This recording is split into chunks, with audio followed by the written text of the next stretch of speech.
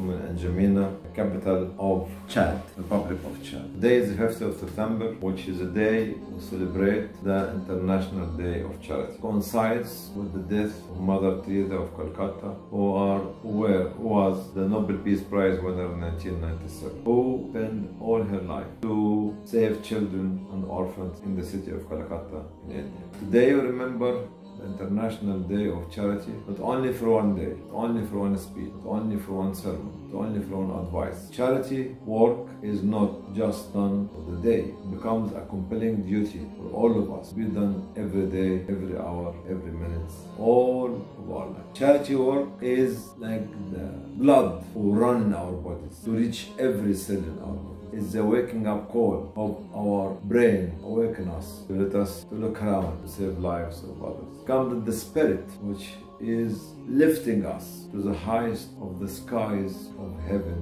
When we pull up with our hands one of the children who are saved by our charity is an industry spirit is a mission an idea the system, its philosophy of thinking, is a culture, is a path, is a path, is a roadmap for generations to come. Charity does not have one culture, one race, one value, multicultural, multi-race, multi-dimensional, multi-faith, and every one of us is able, able,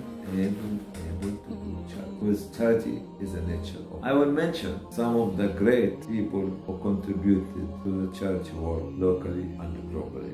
Yes, I mentioned Mother Teresa Now I'll mention another icon from the Middle East, from Kuwait. His name was Dr. Abdurrahman Sumait, who was, who was the founder of the Africa Muslim Agency, or nowadays called Direct Aid. He spent all his life loving Africa, trying to save Africa as a whole. Also today we will remember, actually, uh, Abdullah Ad-Dabbagh, who started and established Qatar Committee for Sponsoring Orphans and now becomes Qatar Charity. This was nearly close to 40 years. And we remember as well the late Haji Abdullah Mutawa from Kuwait, who was open gate for all the charity activities in the country, and everybody was coming to take from him as much as they can, and to as much as they can of donation. Also, Sheikh Jassim Al Haji, who actually spent all his life building international Islamic charity organization. Pray for his health because he is.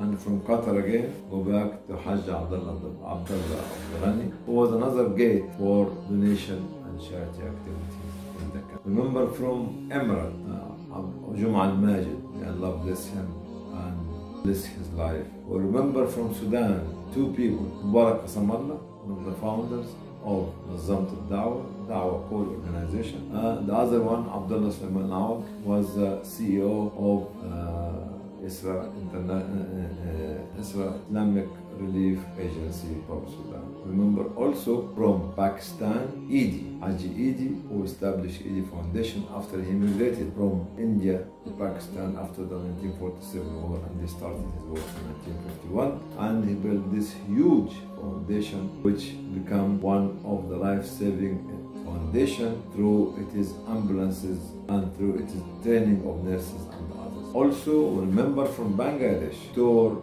Muhammad Yunus, who was fighting poverty by building a bank for the poor people in Bangladesh, which now becomes one of the icons of humanity and the global teaching tool for people in universities and in higher schools. Remember also from Egypt, engineer Salah Atiyah, who spent all his life as a young man, poor man, to think about the people and big partnership with Allah to build his institution in his uh, remote areas in Egypt and he built a lot of houses, schools, dormitories and sponsored a lot of thousands and thousands and thousands of students in his country. Those are just a few of the people who might be talking about when we remember in International Day of Charity today, the 5th of September. Remember also the people that we need to help. Rohingya from Myanmar, Uyghur from China, uh, Yemen from Yemen, Syrian from Syria, Palestinian, Gazan, Eritrean, Congo Republic, refugees who coming out of Congo, the Democratic Republic, okay. Nigerian refugees in Chad, Niger refugees in Chad, South Sudanese conflict, and poverty in Africa, poverty in China, poverty in India, poverty in Asia, poverty in Latin America, everywhere, everywhere, everywhere. We should not stop remembering our people. We have to fight for the rights and stand for the rights as well. My appeal today to all of you, young men and young women, while I'm here in Chad, seeing observing what difficulty of at least over 600,000 refugees and returnees coming to Chad, which is the second lowest income country on earth, at the bottom of the table. This day, it's not a day of despair, of lose hope, Never. It's a day that we stand up to build our spirit, to put our hands together, to work together collectively, to empower our community, to empower our nation, to empower our people, empower everybody to fight back poverty and to fight back illnesses and fight back corruption and fight back diseases. To establish the 17, 17 Sustainable Development goals. This is what we want you to stand up and fight. To establish 17 sustainable development goals for humanity. You, young men and young women, have to carry on the fight forward to achieve what people fail to achieve. Thank you very much. From Chad, love, all. Salam.